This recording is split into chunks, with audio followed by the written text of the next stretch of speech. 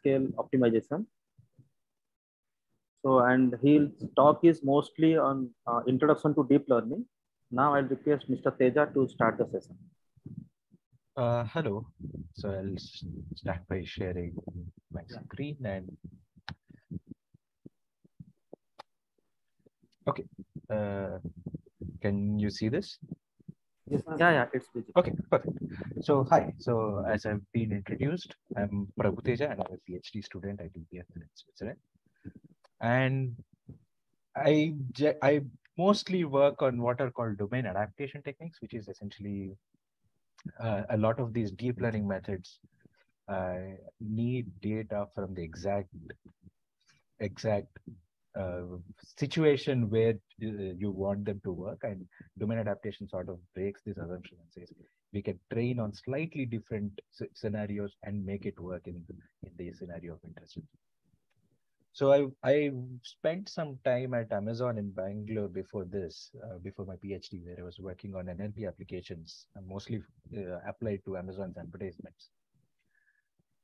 And I, I also spent some time at uh, uh, Siemens Healthineers, uh, where I was looking at uh,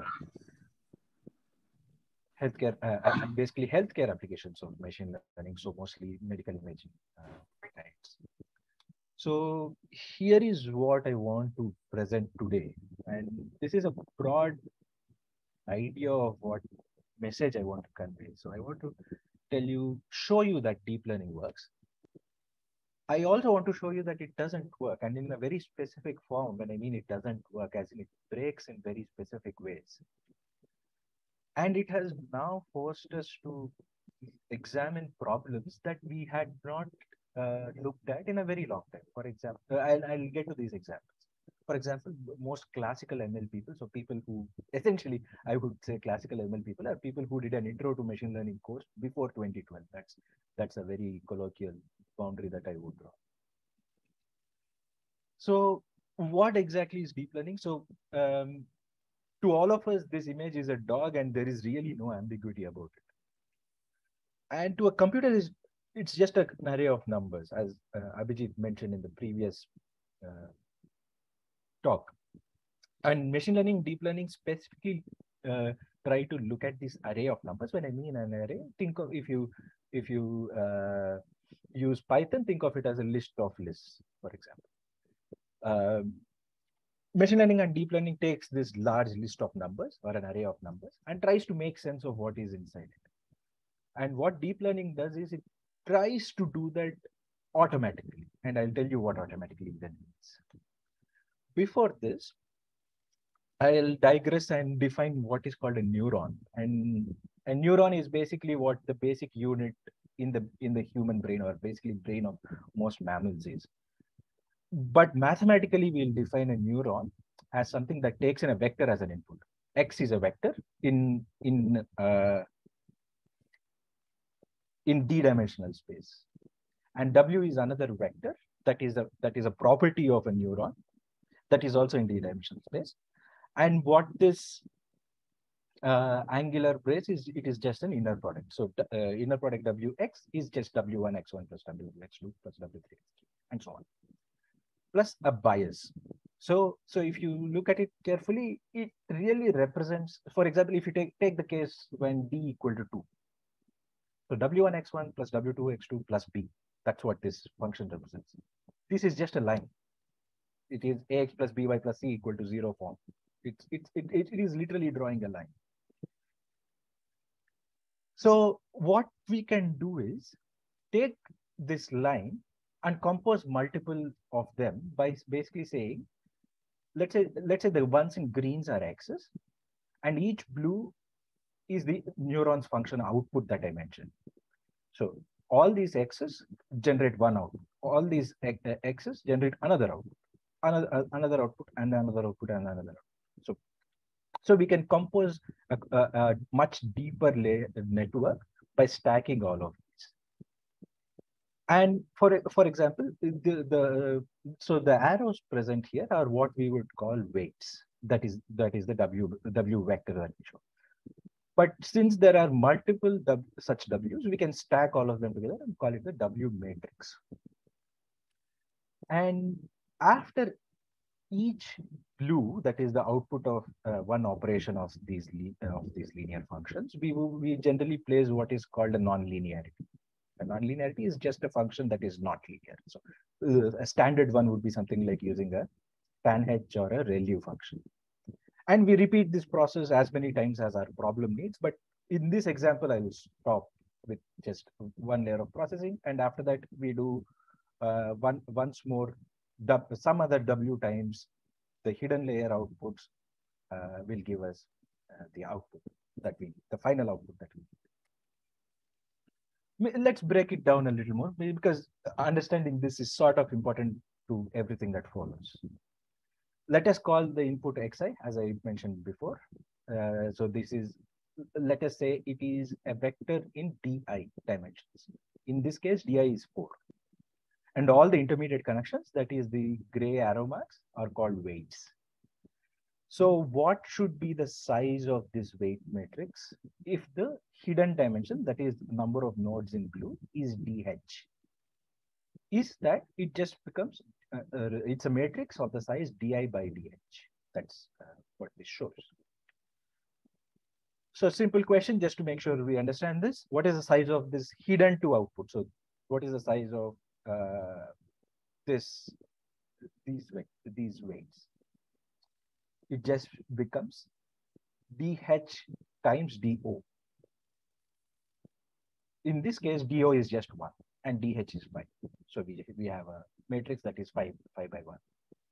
So what is the overall function that is represented? I said we use nonlinearities, right? Let's call them sigma for now what what did we do? We took an x, multiplied it with a matrix, applied a nonlinearity, applied with multiplied it with another matrix, applied a nonlinearity, and got the output. And if you have figured out this pattern, it you can nest these arbitrarily. So you can add four more weights and increase the processing in all this, I've talked about these weights, and I have not talked about how these uh, we, we arrive at these weights specifically. For this, we define what is called a loss. Uh, standard, even in if you did uh, support vector machines, you have a hinge loss. So similarly, in deep learning, we have some loss. Loss is essentially a function that quantifies how correct or wrong a network's predictions are. So this network takes an x as input and predicts f of x as output. A loss merely quantifies what should be the ideal output for that x and how wrong we are. And to simplify that, let's assume that the loss is a nice parabola and, and we only have one weight. Instead of multiple weight matrices, let's simplify that and say we only have one weight. Training in deep networks is done with something called gradient-based learning. And I'll tell you why it is gradient right. So let's assume uh, we, we, currently we guess that uh, weights weight W1 solves the problem. That is, it gives it gives the required output for all the data that we have. It is obviously not the case because it's just a random guess. What gradient-based learning says is start with here compute the derivative. So draw the tangent to this curve and head in the opposite direction.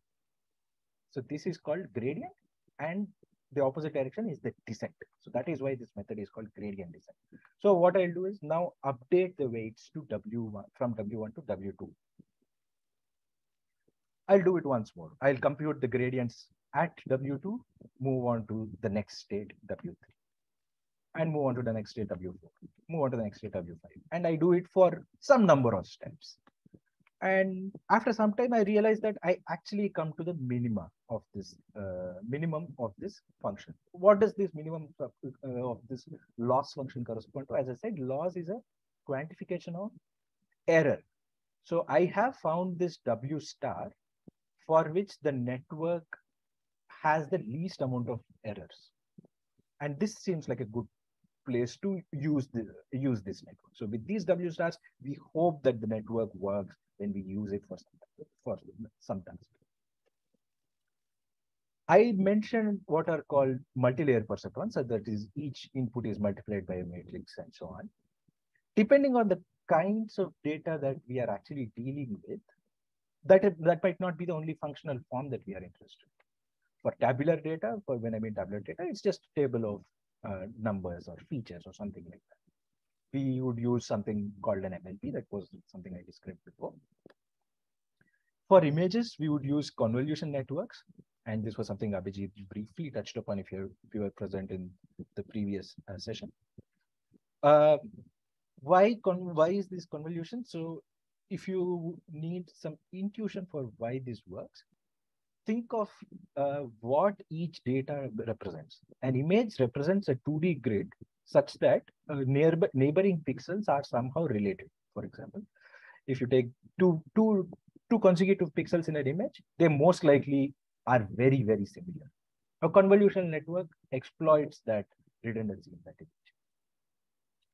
For sequences, and, and when I mean a sequence, it can be a sequence of text or an audio signal or any time series data. For example, if you have some data from uh, some sales data as a function of time, we used to use something called LSTMs, that is long short-term memory.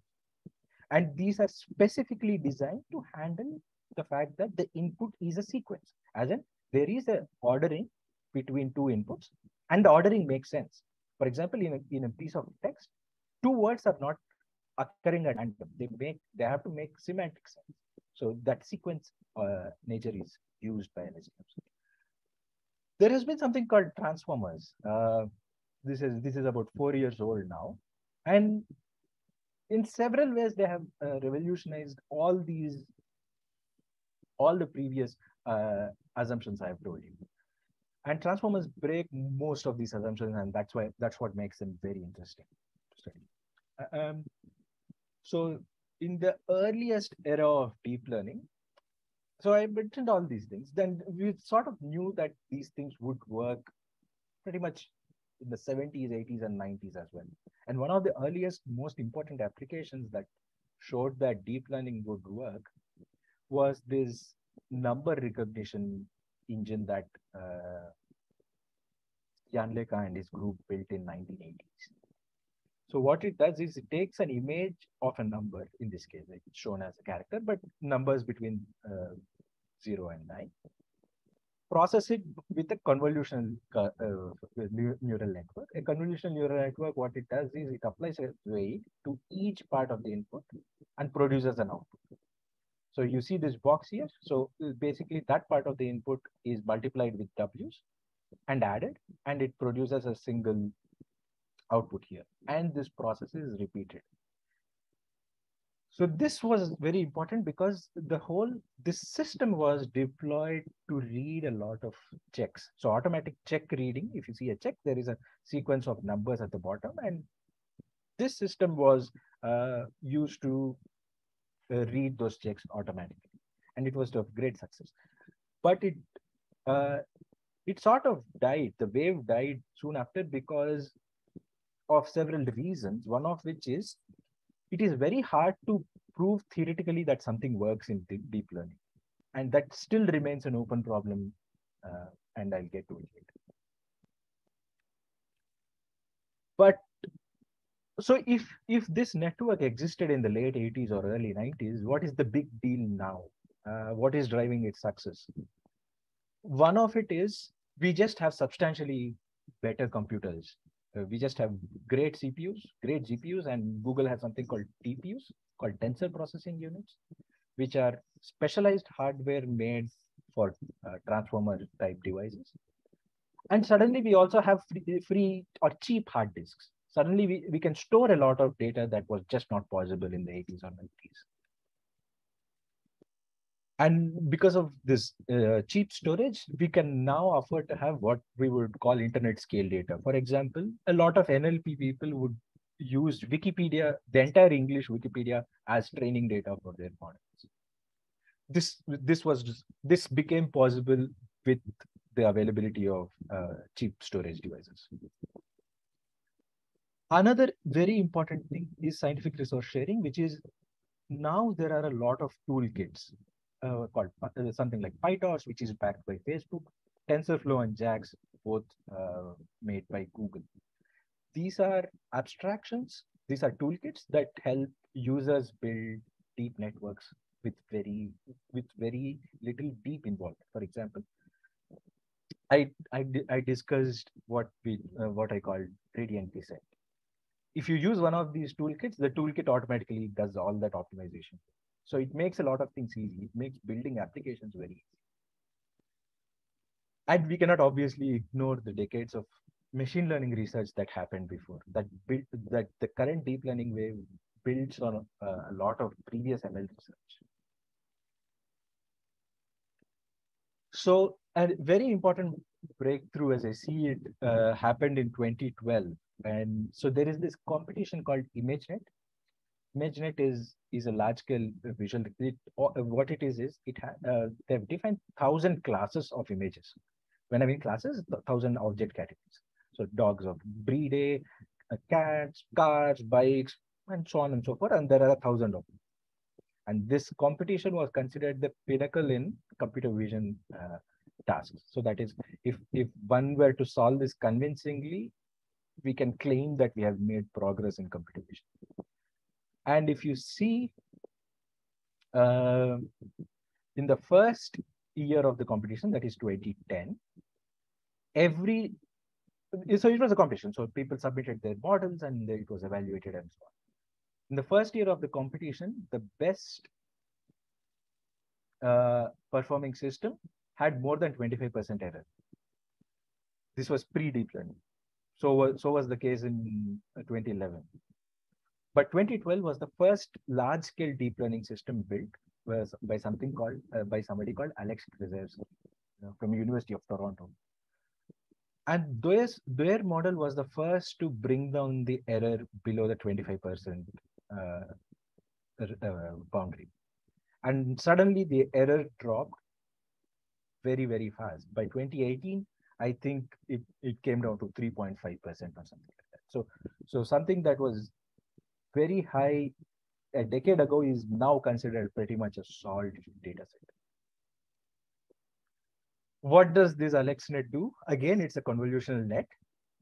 But because in 2012, GPUs were not very, very strong or basically not uh, did not have high processing power, he had to do multiple, he had to split his model across GPUs and train train this entirely this very large model. So the input is a 224 by 224 image, and he would process it uh, by convolutions uh, and what is called pooling and so on and so forth, and predicts a thousand dimensional vector at the end. Why is it thousand dimensional? It is because I said, as I said, uh, ImageNet has a thousand classes. So to any given input, we have to pick one of the thousand lab predefined labels. So, so given this thousand dimensional vector, one can just take uh, find the max where the maximum occurs, and that is the label of the input image. That is how AlexNet works. And this was the next uh, big breakthrough. Uh, again, I'm not getting into the specific architectural details because each of them warrants its own one hour of presentation. So this is called what is called a transformer. And why is this very fundamentally different from the previous one? In the previous one, we as we we exploited the fact that this was an image. We exploited the fact that in an image, if you take a small region, that region is probably very coherent. For example, if you take a three pixels uh, window in an image, all three pixels, quite like all nine pixels, sorry, quite likely belong to a single object or a category. Transformers breaks all such assumptions. It basically says everything can be represented as a list and everything can be processed as is. So it started with NLP. And now even vision uses a lot of transformers. So does speech.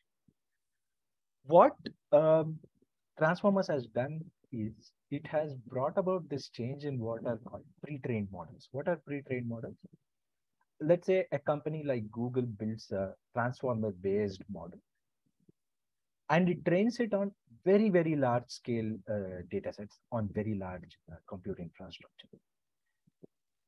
Instead, so, uh, and they release this pre-trained model to the public.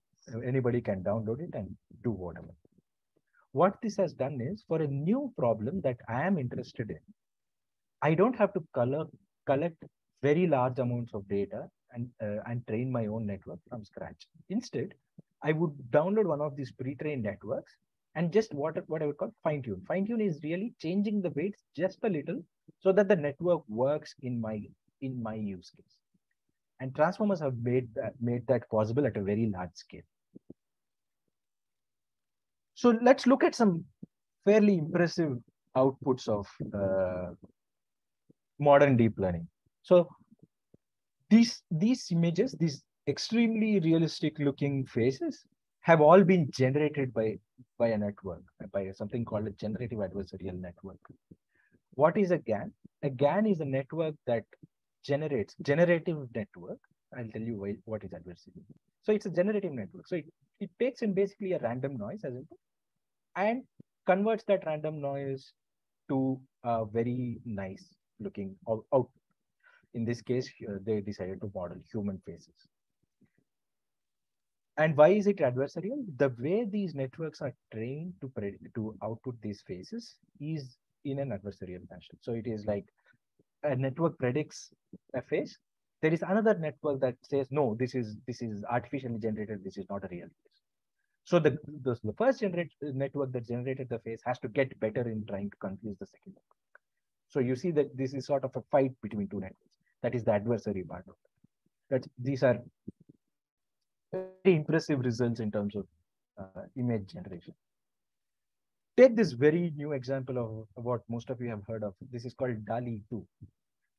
DALL-E is, is, a, is a machine learning model that takes a text as input and generates images. So, and people have made very ridiculous captions and the network figures it out. See, a Shiba Inu wearing a beret and a black turtleneck. I'm pretty sure there is no image on the internet that that has a Shiba Inu wearing a hat and a sweater. But a network realizes that Shiba Inu is a dog, so it puts in a dog. It has to wear a beret, uh, and uh, so it puts in a nice uh, cap where it is needed. And a turtleneck, it, it knows, it has sort of understood that when a dog wears something, where should those uh, objects be? So where should this sweater be or where should this cap be? Similarly, a close-up of a hand palm with leaves growing from it. You see that it is the network is able to put in fairly realistic details of uh, what a hand should be, what leaves should be, and what growing from a palm even means. And this is a much more famous example, I would say. Uh, I'm sure most of you have heard of this company called Tesla, and they have an autonomous driving system. So it really, the car is fitted with a series of cameras. And, and these cameras determine how where the car should go automatically. So you see this, all this processing is done automatically on the fly, basically with the hardware present in the car. It detects where the zebra crossings are. It detects where the lane markings are. It should go left. What is the is is there a stop sign? What is the speed limit, and so on and so forth. Uh, I'm sorry. Uh. Just give me one second.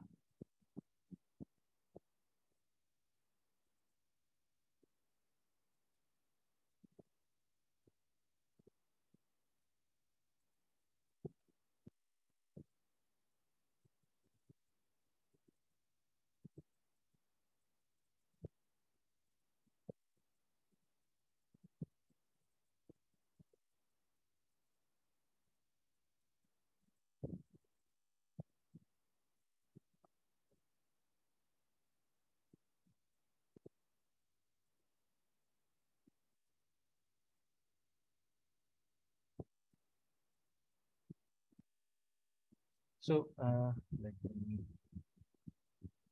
share the screen again.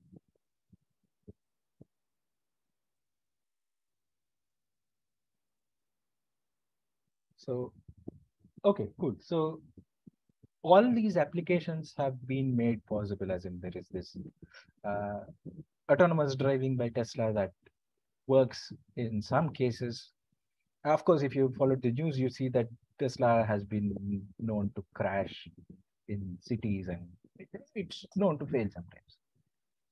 So look at this example. So this is a large language model. A language model is one that sort of generates text. That's how it's trained. It's trained to basically say, given these 10 words, what would be the 11th word? So it sort of tries to understand what a piece of text means by learning the context. And this was a model that was trained on absurdly large amounts of data and on lots of on lots of computation. And people have found that it has figured out how to explain jokes. And I'll read one out for you and see how convincing it is. The input is I was supposed to start writing the paper at 5 p.m. But then I started playing with this cool language model for 10 minutes. And 10 minutes later, it is suddenly 9.30 p.m. And the model explains this as follows. This joke is about how time flies when you're having fun. The person was supposed to start writing the paper at 5 p.m., but they started playing with the language model instead. They thought they were only playing with it for 10 minutes, but it was actually four and a half hours. So you see that the, the these deep models have sort in some ways understood what the input is. Of course, they fail in several other cases, but the fact that even these examples exist is impressive enough. So these are just examples to show that deep learning works, except when it does not. And I'll show you some examples of that also. So this was some work I did last year. Um, so this was think of this as the as an uh, as an application to autonomous driving. So given a scene from a camera, which is the first column, all these images, I'm supposed to predict all the uh, predict oh, sorry segment all the objects in the scene. When I mean segment, I have to label each pixel as belonging to an object. In for example, this this shrub or this hedge, they're all in the grass category, let us say. So all of them have each pixel in that has to be labeled as green. Green is just uh, color coding for convenience. And all the all the pixels corresponding to the road and uh, also have to be labeled. Basically, all the pixels in the image. And here is the task I was looking at. I train a network to do so uh, on data collected in in Europe. That's because that's one data set that is commonly available and I try to deploy I, I try to deploy it in Asia, uh, predominantly let's say I think Japan and Taiwan or something like that. And these networks break even even when I train the network in Europe and try to deploy it in Asia. When, for example, see this. See the case of yeah, uh, let's say the last example, so the last row. You see this nice two-lane road, and here is a footpath the ground truth says it is a footpath, but my model predicts this as a road. And you see that this can have catastrophic effects because uh, this essentially means that the car can decide to go on this part. And of course, uh, if a car drives on a footpath, we, it can uh, have very disastrous consequences. So data, this is called data shift. Why is it called data shift? Because the way the data looks in Europe is quite likely different from the way data is in Asia. And this this can arise this can arise from various reasons. Some of them might be physical. For example, uh, Europe, the camera sensor might be different. Well, the data collected in Europe might be collected on one camera, uh, and the car uh, and the data in Asia might be collected on different cameras. The world is different. The kinds of buildings that exist are different. The kinds of cars that exist are different all these represent what are called data shift or uh, domain shift. And this has very serious degradation effects on these deep learning models. Take this very simple example again. Um, models are brittle. This one paper showed that take an image, place a uh,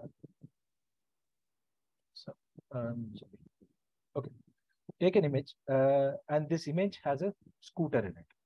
I just and the model predicts it correctly as a motor scooter with a 0.99 probability. So it's very confident. Turn the scooter around, it predicts it as a parachute. Put it in the air, it calls it a bobsled. Lift it, do a wheelie with it, it calls it a parachute. Similarly, take a fire truck, place it normally on the road, it's called a fire truck with a 99% probability. If it is flying for some reason, it is called a school bus. If it is inverted, it's called a fire boat. And if, if they put an actual crashed uh, truck, it's called a bobsled. You see that while, while the network has done phenomenally well in recognizing it in the first instant that something is a motor scooter or a fire truck, it fails pretty phenomenally after that as well. See that somebody raised their hand and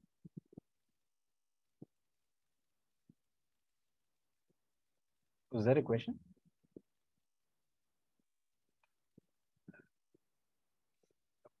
So one more case where these deep networks fail and fail phenomenally. These are called adversarial samples. And in some ways, this is very similar to the generative adversarial networks that I mentioned. Uh, let's say this is a soap dispenser, right? So, so we can take a network that predicts this correctly as a soap dispenser, add some structured noise to the input, and make it predict as something else. In this specific example, the, uh, the first column represents the images that are correctly classified by a, by a trained network or a model. To that, they add some very little noise. And you see that uh, perceptually, the third column images are exactly the same as the first column. The network calls all the images in the third column as ostrich. And the, the, the surprising part is this noise can be can be computed at an image level. So I can make I can take any image, take uh, see that it is correctly uh, correctly being predicted as a correct class, add this noise and make it predict whatever I want. This might seem like this is just a toy example that I made up to show this point, but people have shown that these adversarial samples occur in the real world as well. So this, this is a very important case where a deep network fails and fails very catastrophically. Just makes no sense that it does this when it works very well in most other cases. Here, as I mentioned, um, there are these large language models, right? These large language models are trained with data from the internet. When I mean data from the internet, it is literally a web, web crawler somebody wrote and it dumps data and they train with it. When the data set is that large, curation is very hard. And when curation is hard, a, a language model can learn to can learn very spurious uh, biases. Biases, uh, we'll see this. And the text, the, the text in bold, the best for a man's career is to is given as input, like like I said, uh, like I showed the previous example of a joke. The bold is shown as uh, is given as input, and the subsequent part is is generated by the model itself. So the best for a man's career is to is the input, and the model generates to be the best in his own skill. The second one is the best for a woman's career is to, and it says it to be a housewife. And take this very common uh, case in the uh, of uh, people denying climate change. Regarding global warming, it is well known that, and the model generates, the Earth's climate has been changing for thousands of years, which is a very common trope that a lot of people who deny climate change say that it's happening all the time. So you see that when when the data becomes large, output becomes more coherent, but it also picks up bad things from the data in a way that we don't know. It, it has somehow picked it. We don't know what has influenced it and how to avoid this specifically. So given these specific, specific failure cases, I want to show you some specific theoretical and practical problems that deep learning has brought to the fore. So uh, let us focus on image A, that is the image on the left for a while. So this is this is the bias variance curve if you did an introduction to machine learning course, which basically says this. If you increase the size of the model, the training loss keeps going down and down. But after a point, the test loss keeps going up after a point. So what is the optimal model size is the one where this trade-off is hit that is this point is the optimal trade-off. And this is a very standard bias variance decomposition that uh, most people has have seen. What people have shown is why the training loss keeps going down and down, but keep increasing the capacity of the model. When I mean capacity of the model, number of parameters in the network. So if you have if you have a two-layered network, make it a five-layered network, a, a 10-layered network, and so on and so forth. What people have seen is this this behavior shows till a point that is as the training loss goes down, test loss goes up. So the network only remembers the training set and it doesn't actually work. It has by hearted uh, the previously seen examples. But after a threshold, the test loss go, starts going down again. And this is very weird because this sort of breaks our intuitions as what is what we would call overfitting and underfitting. And this threshold is what is called the interpolation threshold. This is, this is an extremely important theoretical problem as to why that's why does this happen? For example the alexnet or any of the large networks that i had talked about they're so large that they're bigger than the size of the data set. The data set are uh, in, in, in imagenet is about i think 11 million images or something like that. They have hundreds of millions of parameters. For some reason they seem to work and we don't really know why. Similarly large compute is the norm. What I mean is the norm, see this, see these early 2010 papers. See, see this six layer MLP on MNIST at the corner. It has something like 10 power 14 flops. Flops is basically uh, floating point operation. So this is basically number of additions, multiplications you do in total per, uh, to train the network. AlexNet is somewhere here. It's about 10 power 18. And starting 2016, we saw these extremely large scale training, uh, mostly done by large companies. You have heard of this AlphaGo, uh, which is basically a, a, reinforcement learning system that beat uh, the world's best Go player. And you see a large number of models that are that cost a lot. When I mean cost a lot, that take a lot of computational effort and data effort. And this has sort of become the norm in terms of beating the state of the art. One can say, of course, GPUs have gotten faster, and they have. Uh, there is no doubt about it. But this opens up a lot of important engineering issues in deep learning. Let's see those. Let's say if we have too much data, very large data, and very large models, we use some standard methods, something called data parallelism what this is is a accommodate large. So when we have too much data and if we process it sample by sample, we'll just take absurdly long amounts of time to finish processing. So we collect them together and process them. But when we collect them together, the amount of memory needed goes up. So to, to handle that, we use something called data parallelism. Similarly, if the model is too big, it is so big that it won't even fit on one computer, one GPU, one, one graphics card what we would do is we will split these models to so that they sit on multiple multiple GPUs, and this is called model parallelism. How to efficiently implement these are still open problems. There are some uh, headways that people have made into data parallelism, but model parallelism is something that people still uh, work on. Uh, uh as I explained, that large language model from Google that explained jokes was trained on something like 6,000 TPUs. So think of a model that is trained on 6,000 computers how will you efficiently uh, handle uh, the data loading, for example, or even how to communicate between these 6,000 computers so that uh, just communication should not take more time than, train, than training the model. So th th these are some very interesting um, engineering problems that deep learning gives us. And as I said, uh, training a deep network is essentially an optimization problem. When I mean an optimization problem, it is really minimizing the loss function. When the loss function was as, as nice as a parabola as I showed before, we know how, how nicely it is. We can find a minima by basically going in the negative direction of the gradient and everything works fine. In reality, a deep network's loss function is very, very non-convex. What, I, what do I mean by non-convex? It has a lots of ups and downs.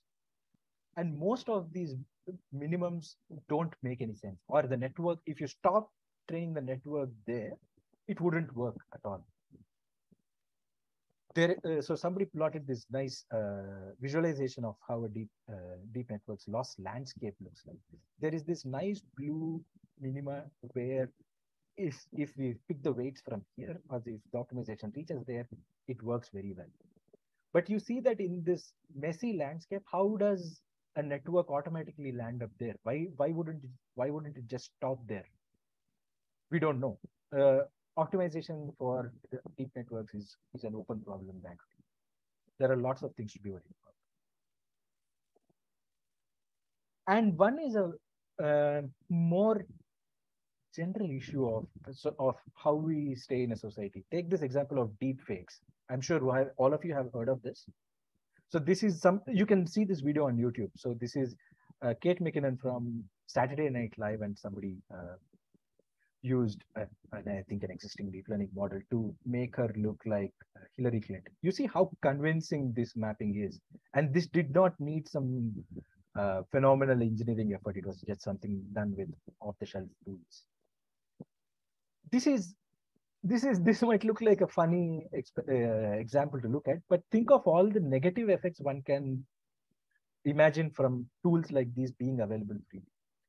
So there is a substantial amount of uh, research, not research, or a discussion on what we would call AI ethics. Just because we can do something, should we do so? Is a very simple question, right? Should we do? Should we be? We can do this, but should we be doing these things? So, in some ways, I wanted to. This was basically the set, uh, the points that I wanted to make to you. a high level overview of what deep learning is in a gist, deep learning works. But when it fails, it fails spectacularly and spectacularly and for reasons we don't fully understand. And this is very important when we want to deploy these models in safety critical applications. For example, you don't want a car to fail spectacularly. You wouldn't buy a car if I if, if I told you if you put the put it in fourth gear and press the brake and accelerate at the same time, the car blows up, you would never buy a car. Right? But deep learning, some it fails spectacular formats and we don't know there are several new problems that it has brought to the fore, both theoretical and practical. And I want to end with this. This is pretty cool stuff. And if you get a chance, you should work on this. So I'll stop the presentation here and take some questions. And in maybe in five minutes or so, I'll move on to show you how to build a simple deep learning model. So I'll stop here. So yeah. Uh,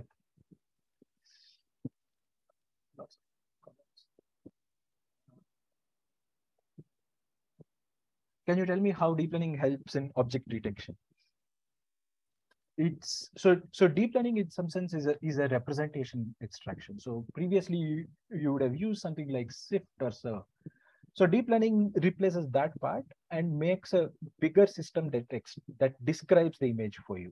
And what you do with the description is up to you. Object detection is one, object recognition is one, segmentation is another application that I showed you. So deep learning essentially is a feature extractor in most of these problems.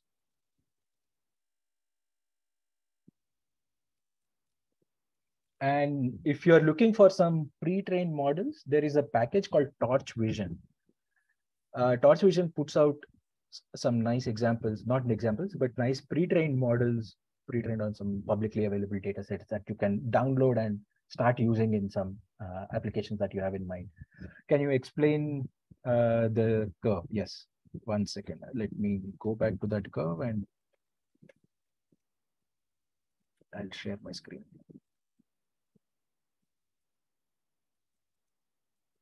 So uh, so uh, I hope you're referring to the one on the left. Maybe I'll repeat myself. This overfitting underfitting curve is essentially saying that if you use a model that is too large for a problem, that model will essentially by heart the training data and won't generalize. It's really like saying this. Uh, in an exam, I by hearted the textbook, but the moment I saw a new problem, I did not know what to do. That is basically what what this means. So that is the training risk. The, I have by hearted the textbook very, very well. But when the exam comes, the test, uh, I get very poor uh, marks in the exam because I, I have just by heart the. And this is how people understood overfitting, underfitting uh, in the context of classical deep learning. What uh, what has come out in the recent past is that after increasing the model capacity beyond a threshold, the test risk that is that is basically the test loss basically starts reducing again and it goes down much faster. So for example, once the model becomes larger than a threshold, test loss is substantially lower than it was previously. Now, in the specific case of how to avoid overfitting, uh, in traditional machine learning, for example, if you were doing some linear regression or uh, SVMs or uh, random forest or some of these, there exists some very standard techniques. Regularization is a very standard technique. Deep learning seems to be surprisingly immune to this. That is, it does not overfit as horribly as we think it is going to, in spite of it being very large and too many parameters and not as much data. It seems to work. So people do use uh, regularization methods in deep learning, say things like uh, dropout. There are methods like dropout. There are things like batch norm. And of course, the uh, weight regularization like L1, L2, all these exist. But we have found that if we have just about enough data, we can train absurdly large networks without worrying about most of these things or most of worrying too much about most of these things. I hope that that answers your question. Uh, Alex says, what is the size ratio and how do we decide this? Yeah, um, you don't decide this ratio. You, I, I would basically go about in the opposite direction. So I have a data set. Collecting data is generally harder, right? So what here is, I have some data set that I can work with what I would do is I'll try increasing the model size progressively and see where it starts overfitting. That's basically how I would do it that way. And I don't know if there is a crisp formula to determine what is the network size versus what is the dataset size to do so. So I don't know the exact formula, but I would go about essentially by checking when it starts to break. can you please put some pointers how these things are related to the for the future of deep learning? Okay, so uh, that's important, and maybe I didn't focus enough on this.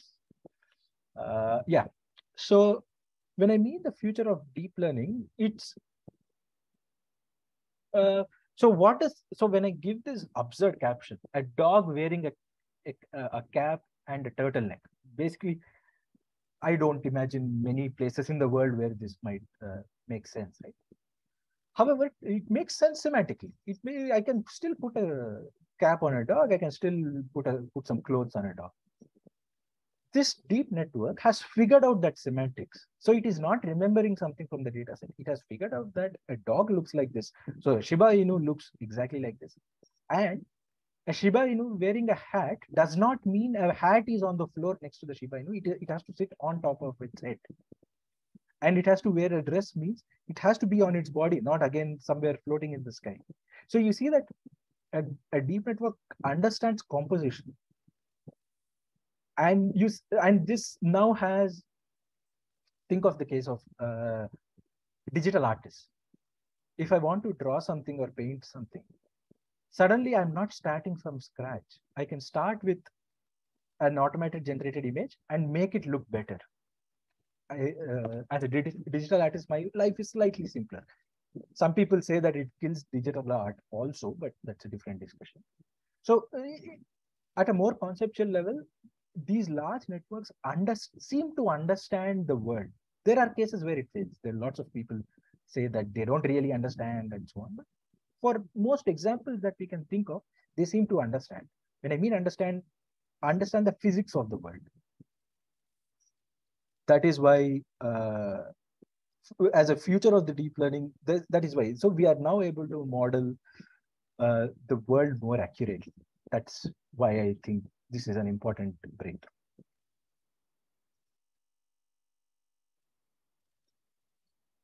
yeah exactly uh, is this what we call black box? Black box models uh, comes from the fact that we don't know what is happening inside. Here is what we know about the system. I have given this sentence. Uh, I have given this sentence. It has generated this output. What it did with it is something we really don't have understanding of.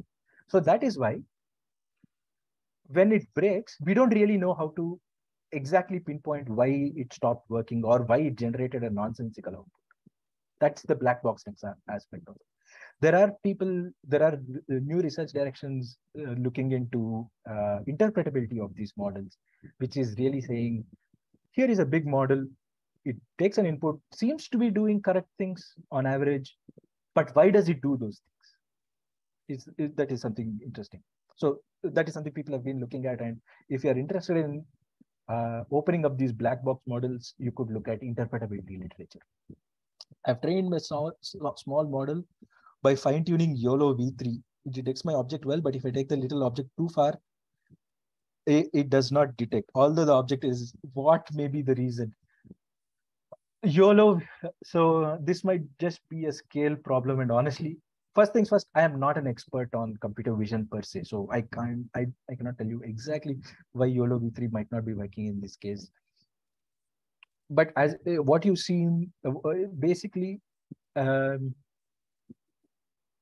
in computer vision scale is a fairly fundamental problem. For example, is a small dog a dog? Is a large dog a dog? For example, if you take a very close up of a dog to the network, is something that people do consider quite a bit. So there are lots of methods that look into this. And what you seem to be describing is something that that uh, like that. It's like if you take the object too far away it is not able to get uh, get that object right. So when you fine tune maybe you could look at artificially generating data that looks like it is far away by cropping and so on. Or uh, sorry uh, nearby and far away by cropping. So augment your data and fine tune the model. It might be slightly better there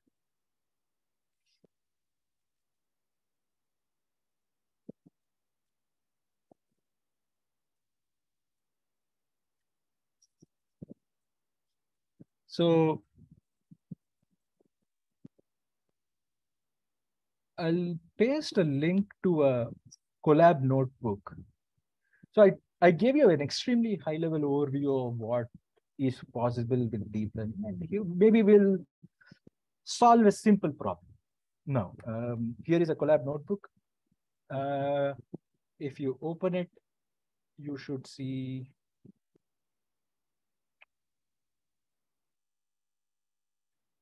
something like this. I hope everybody is able to access. And uh, because this is a small example, you really don't have to do much coding. I'll, but I'll tell you all the steps of uh, building essentially a deep network.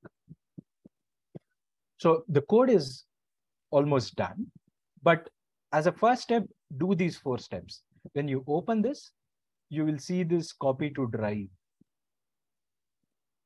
click on that. If you have not logged into your Gmail account, it will tell you to log in. And once that is done, you basically have a copy of this Colab notebook. I'll wait one more minute to make sure everybody has uh, has these steps.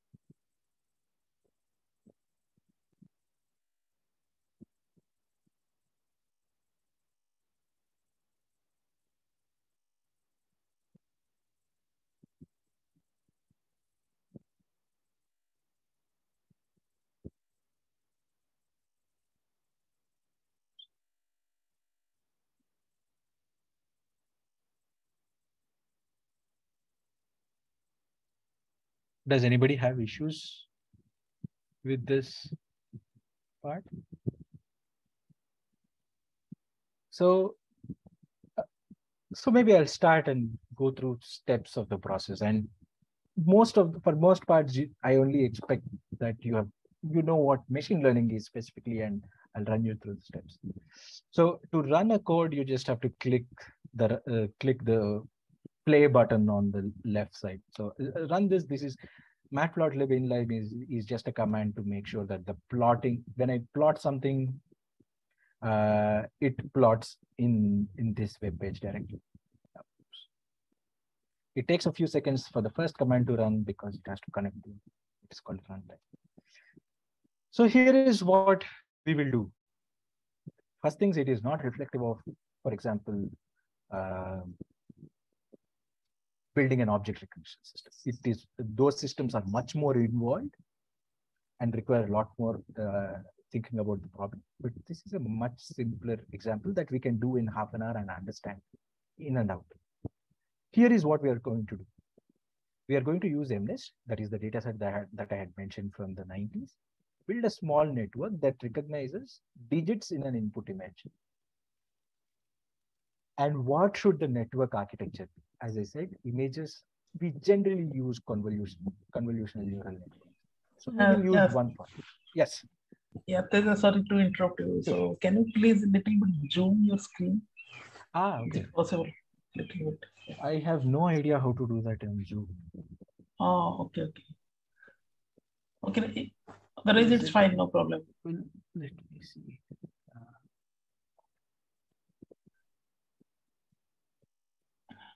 I really have no idea how to do that. Sorry. Okay, okay, no problem. All have access to the Colab, so we can continue.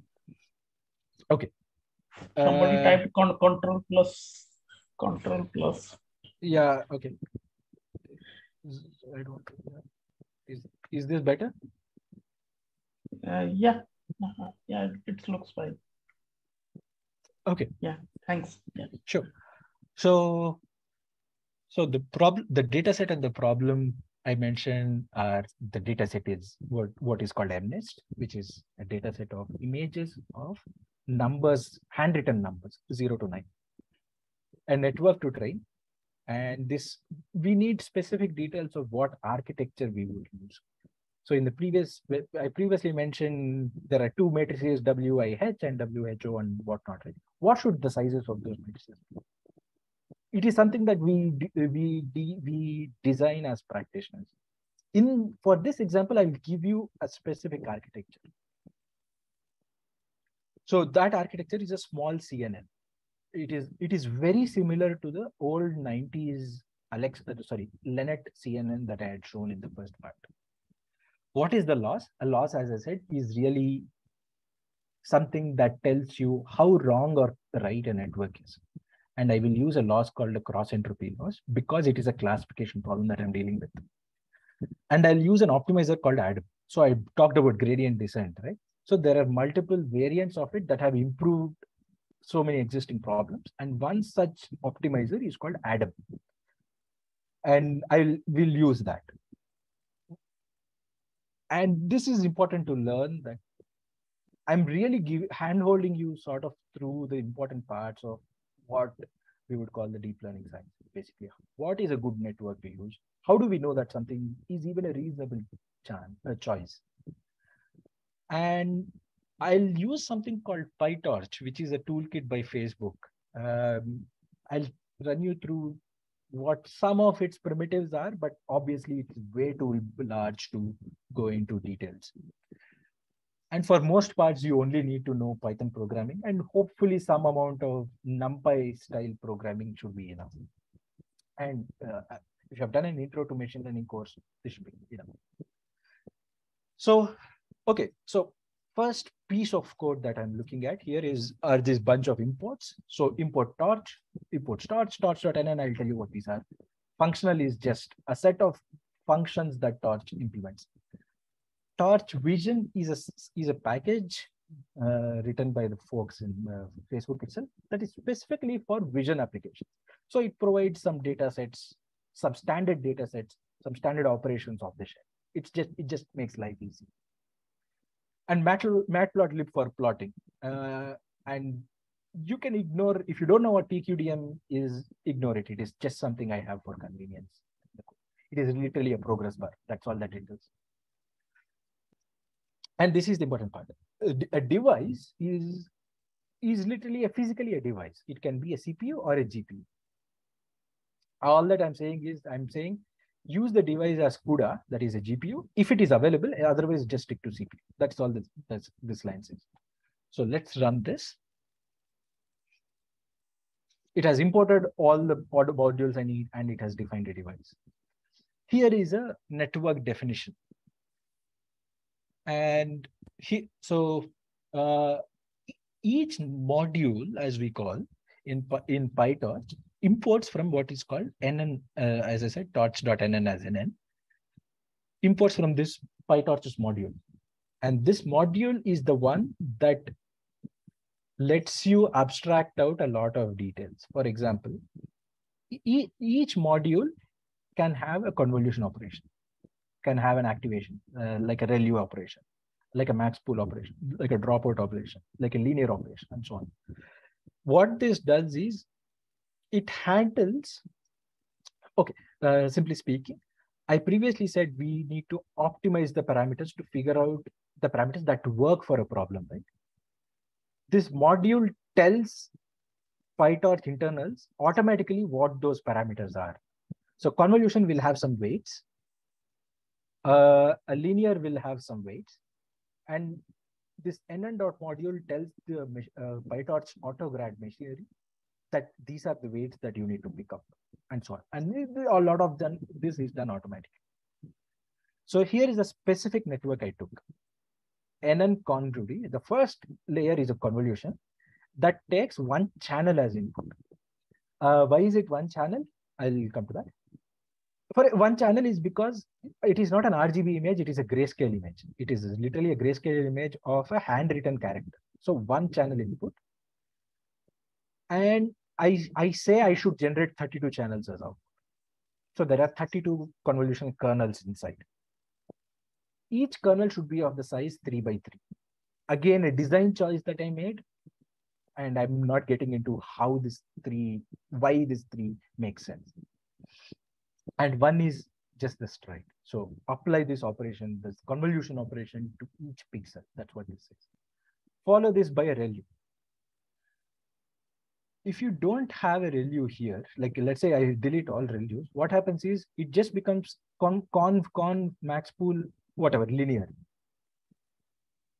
if if you put two two linear operations when i mean a linear operation a convolution is also a linear operation if you put two two linear operations together you can represent uh, the combination of these two as a single linear so all that we would be doing is basically using more parameters to do a to do a simple linear operation on the other hand the moment we place a non-linearity here we are actually using or we are essentially increasing the expressive power of the network.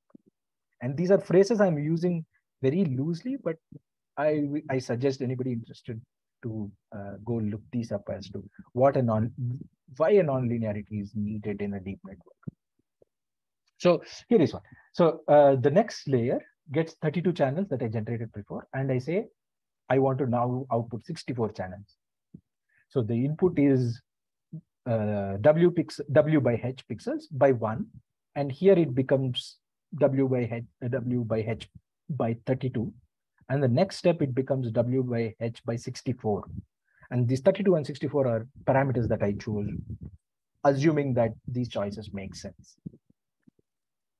And then there is something called max pool. Max pool is literally take max pool two is, re is really downsampling an image but instead of down, when I mean downsampling, I don't throw out every second row. I take the maximum by in a two by two window.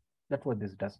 Instead of blindly take, instead of blindly indexing the array, I just compute the maximum in a small two by two pixel neighborhood and take and retain only the maximum, discard the, the other three pixels. This reduces the spatial content size. So if the input is of size uh, 32 by 32, sorry, let's say 28 by 28. After a max pool, the output size would be 14 by 14. But hopefully, we have only retained the important ones.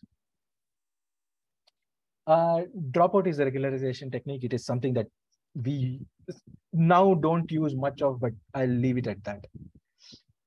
Um, flatten is, is, is really flattening. So it takes in a W by H array and generates a WH vector. It just flattens all the pixels. And if you compute by hand, I get about 9,216 such pixels. So I take 9,216 eh, and do a linear operation. The linear operation is literally a matrix multiplication and reduce the dimensionality to 128, do a ReLU, do a dropout. And from this 128, I go down to 10. Why is it 10? Because there are 10 digits to be recognized. This is the network. So predict, I, I take the output. So it will be for given input, it will predict 10 numbers because the last output is of dimensions 10. I just take the maximum response. So over these 10, uh, uh 10 uh, numbers, I compute the index of where the maximum occurs. And that is the digit that I'm predicting. That is the digit that the network is predicting. That is basically how this works. A forward function is basically what to do when a sample is given. So let's say, let's say X is the sample. All that I'm saying is, yeah, just pass it through the network in a sequence. That's all that I'm doing. I hope that is clear and I'll move on. So I said I will use torch vision, right? That just makes things easy in a vision problem. And this is how it is. Torch vision defines some, some standard data sets and has some methods to download them automatically. So this datasets.mnist is the dataset that I'm interested in. I want to download it into a folder called data. And I want to download it if it is not available. And this transform is basically those images. Think of this as just loading a PNG image or a JPEG image. You load and you get a set of numbers. You don't automatically, you don't necessarily feed it right away to the network. You do some pre-processing. And the pre-processing I have chosen here is I, I divide all the input pixels by 255. That is dot ToTensor. Why 255? Because by default, uh, pixels are encoded as unsigned integers, which is which takes a maximum of 255, 2 power 8 minus 1. Right? So, so I just divide by 255. So all inputs now are of the range 0 to 1. And then I normalize. What is normalization? I subtract the mean and divide by the standard deviation for all the pixels. Why is this done? People have found that it stabilizes the training process. This is, a, again, a very engineering part of deep learning. Shouldn't the network figure this out on its own? It probably should, but experimentally, we see that using this helps slightly. So here is a function that does get, get data set and get a, get a set, get the train set or the validation set. So let's look at uh, if you run this, it downloads and it just shows what the data set looks like. So I'm just picking some 12 random number input digits. So when the class is eight, the, the one sample of eight. This is one sample of five, another sample of five, two, one. So this is basically how the data set looks. It's literally black background, white digits, and this is what we are trying to recognize. Is it clear till this part? Because from now on, the training starts. So I'll, I have installed CUDA for NVIDIA graphics, but the kernel is getting started, uh, getting crashed.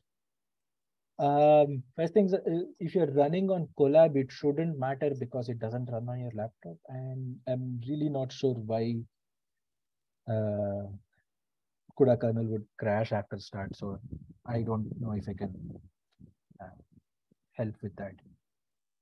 But to run this example, you you need a very bare minimum laptop because it doesn't run on your computer. It runs on Colabs, wherever it is hosted. Can you please explain transform normalize? Okay, okay. Um, so one of the ways, so this 0 0.1307 is the average pixel. So once you divide by 255, you have a training set full of images. and you can compute the mean of the pixel values. And when I computed it, it comes to 0.130. This is the mean of mean over the entire training set. 0.30 is the standard deviation over the entire data set of the pixel values. And transforms normalize. Okay, so let us see if we can do that quickly. Transforms normalize uh, applies and applies an operation like this. X minus mu. Uh,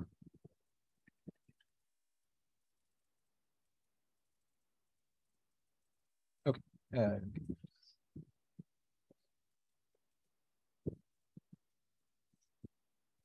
by sigma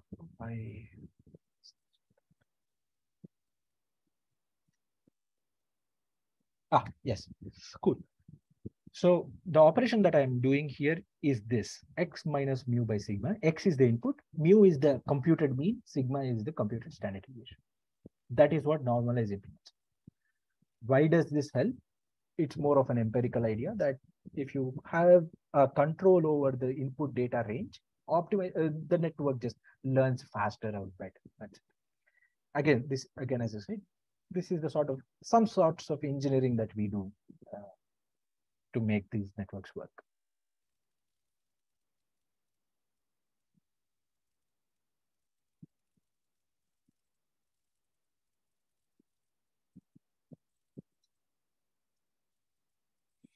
So,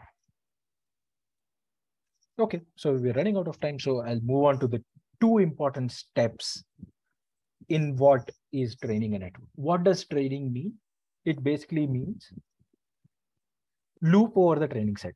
Take all the samples from the training set, pass all these samples through the network, compute the output, and it, if, if it makes errors, compute the error, that is the loss I described. And to reduce this loss, update the weights and biases. Right? And do this a few times. That is basically what the training loop is. And what does testing mean? Again, take the test data as batches, or basically uh, take, take test samples, maybe even one by one, pass it through the network output, pass it through the network, get the output, take the index of the maximum element, and call that the prediction. Simple enough, right? So this is the this is the train and test, and we'll look at the code. So I define a function called train, which takes in a model and the training data, obviously. I am also taking the test data because I want to benchmark the performance as the training happens. So as in, I want to know if the network is actually learning something or am I, am I, do I have to change something? And number of epochs is basically the number of repetitions I do over the training set to say, tra to train the model. And again, this is what we would call a hyperparameter. Uh, this might be very problem dependent. An optimizer, as I said, is Adam. What does the optimizer work on? It works on the parameters of the model, the weights and the biases of the model. So I'm saying torch.optim.adam is the optimizer that I'm using. And it needs access to the model's parameters. Model.parameters, the reason I said we use a nn dot module is that when we do that, model dot parameters collects all the weights and the biases automatically and tells the optimizer, oh, these are the parameters that you need to change to make the network more accurate.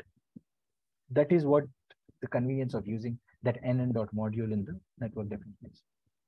Otherwise, you have to do all this by hand. Like you would literally store a list of all the parameters, give them one by one to the optimizer and let the optimizer do its job.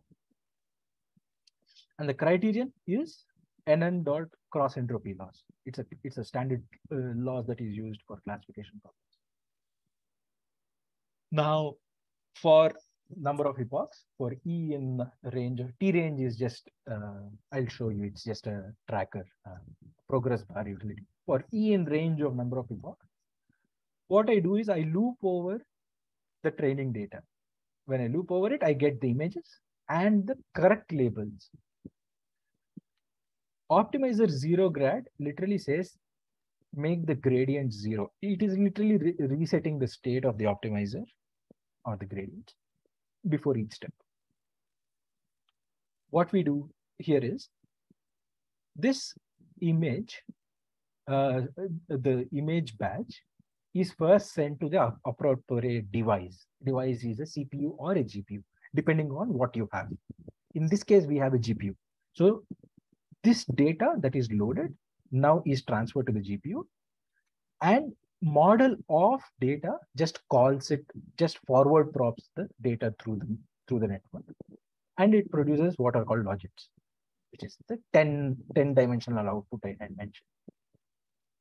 Given that 10 dimensional outputs, how wrong are we is defined is, is something that the criterion tells. That is the loss, that is the cross entropy loss. So cross entropy loss takes the outputs of the network what it is actually supposed to be, that is again coming from the data set and computes the loss. Then we do loss out backward. See, all these are things, all these are primitives implemented by PyTorch itself. So when you do just loss dot backward, it automatically computes the gradients with of uh, gradients of the loss with respect to all the parameters in the network if you didn't have PyTorch, and for example, if you were to implement this from scratch in NumPy, you would write the backward function. And it's a pretty painful function to write. PyTorch or JAX, all these things make these very easy to use.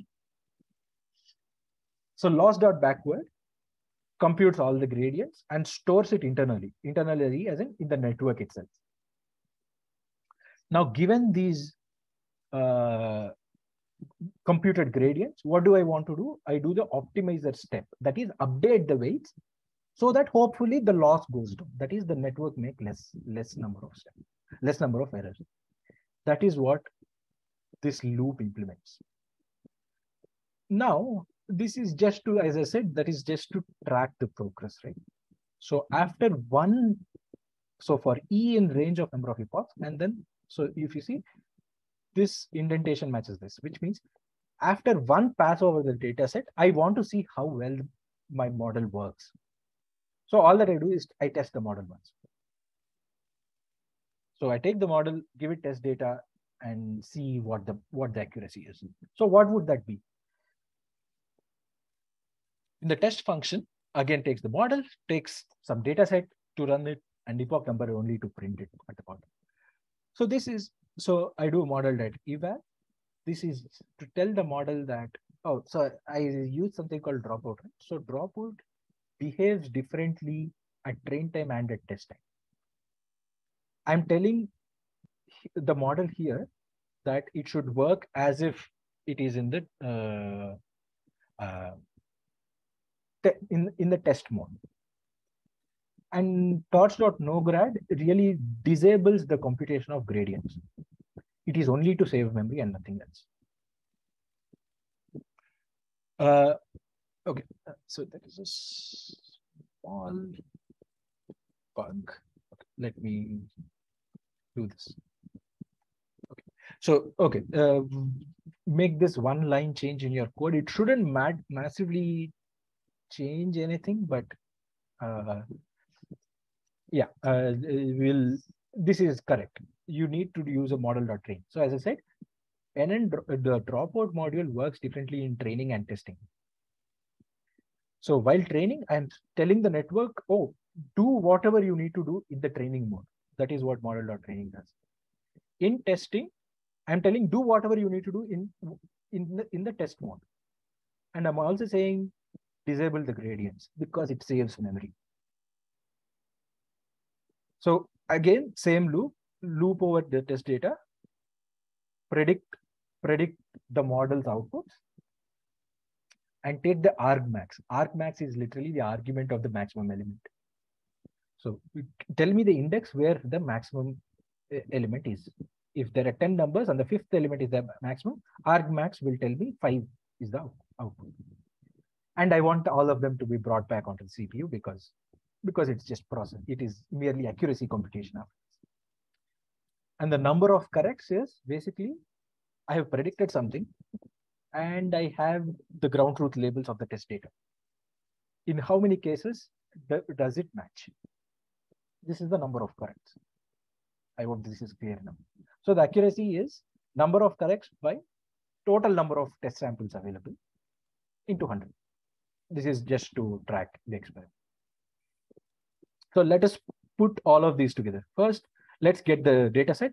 I get the data set and I use what is called a data loader, which is data loader does this job of data set is a collection of samples. A data loader puts them together in the form of batches.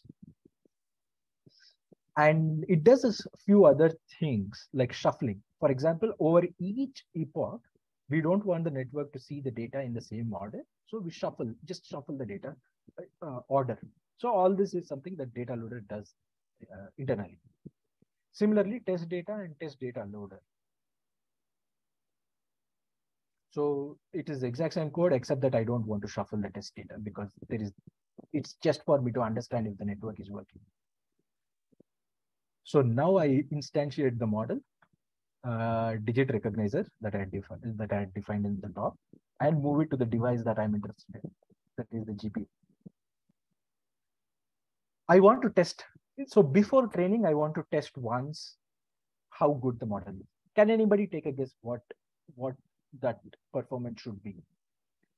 Without training, if I just test the model, what is the expected performance? You can type it in the chat. It's a simple probability problem.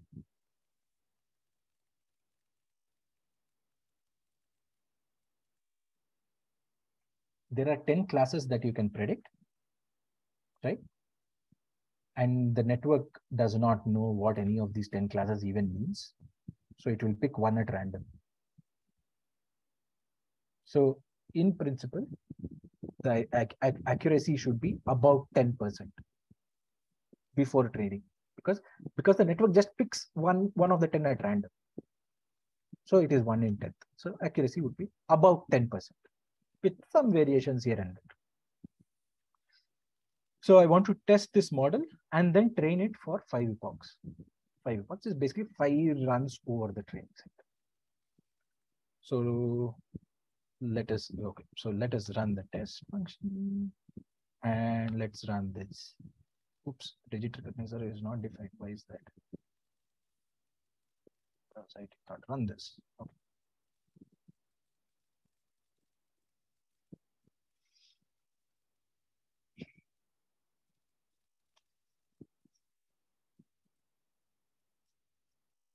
So it takes a few seconds. It takes almost a minute.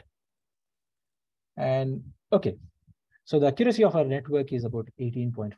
It's not 10%, but it's pretty close to being a random choice.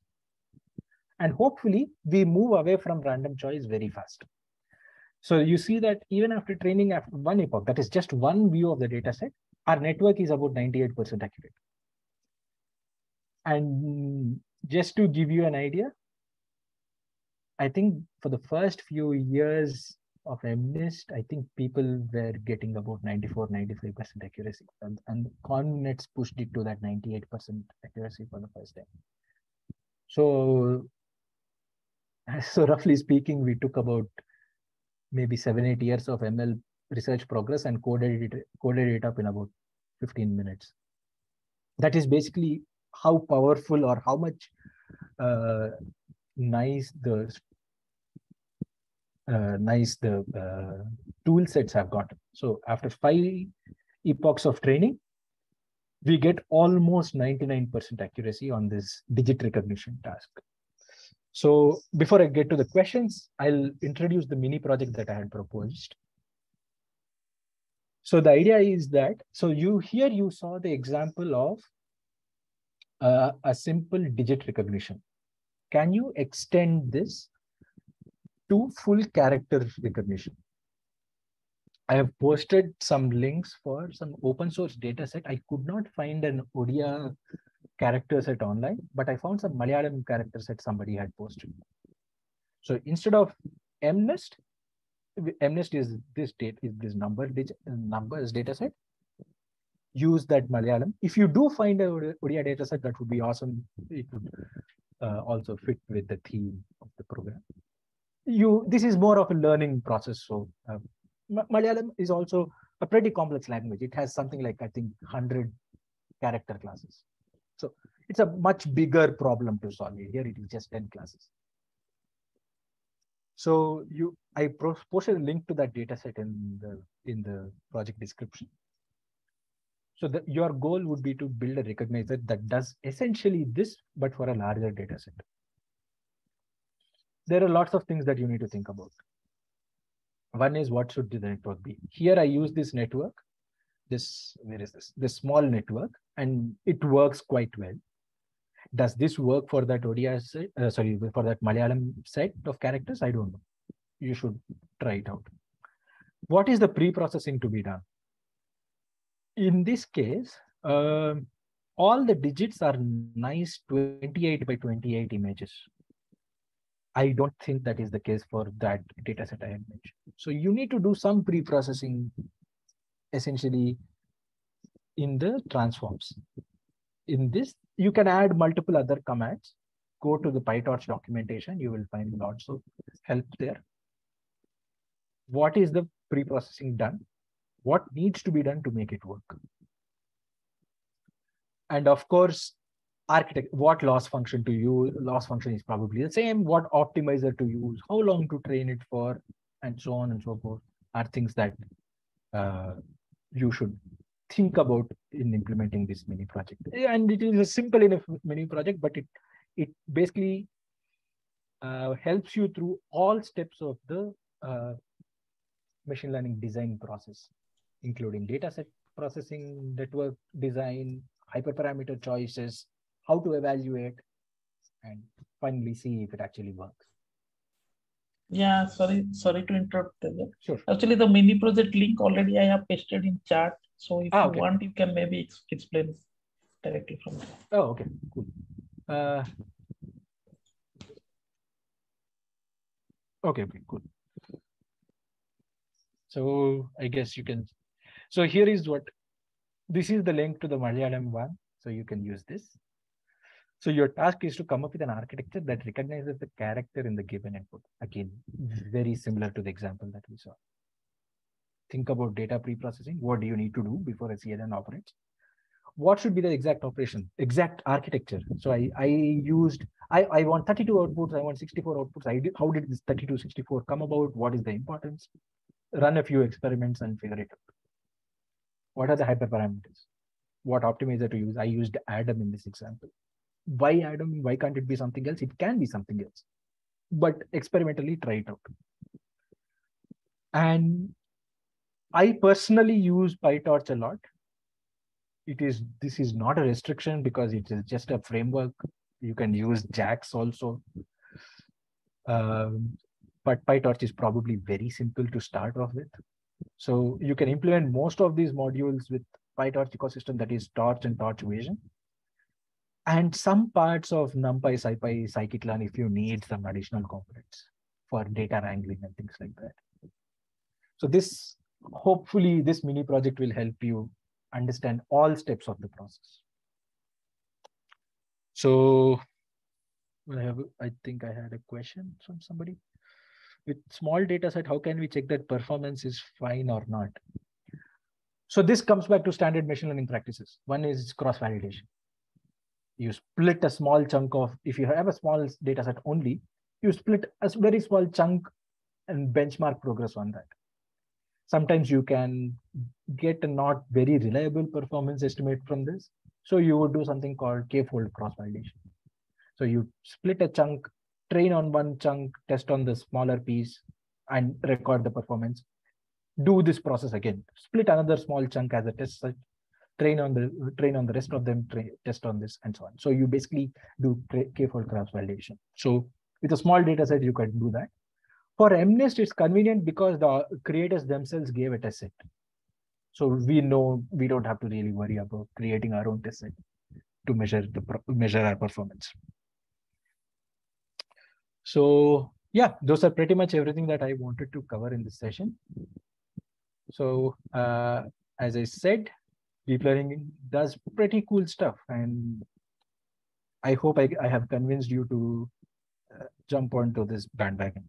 Is accuracy totally depends on the data set? Yes, it is. Like for some, as I said, for MNIST, it is easy to achieve 98, 99 with very small networks. For for ImageNet, you probably need 100 layers of processing before you get to that performance. So yes, accuracy depends on the data set. Uh, accuracy as in how how uh, on the data set and the network that you choose. So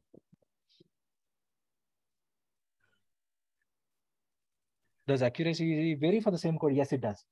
As I said, it it does it varies a little, um, and this is this is a side artifact of the randomness. So so when you start the network, uh, the weights have some values. When you just instantiate the network, the weights have some values, right? Those are randomly generated. Each time you run the code, it it it, it, it has some random weights. So that initialization has some impact. Also, I said we shuffle the data set, right? Which means each time you do, the network sees the data, it is not in the same order. So because of which there is again a small variation in the accuracy between two runs. If you just rerun the entire code again, you get instead of 98.9, you will probably get 90, sorry, 98.9, you will get 98.8 and this is very very common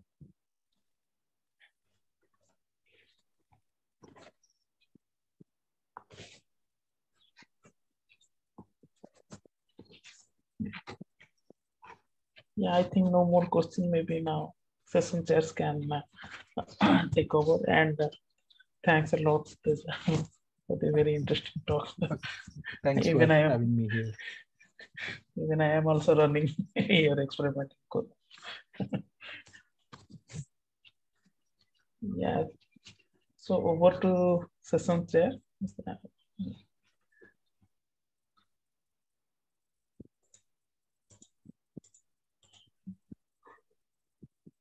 So,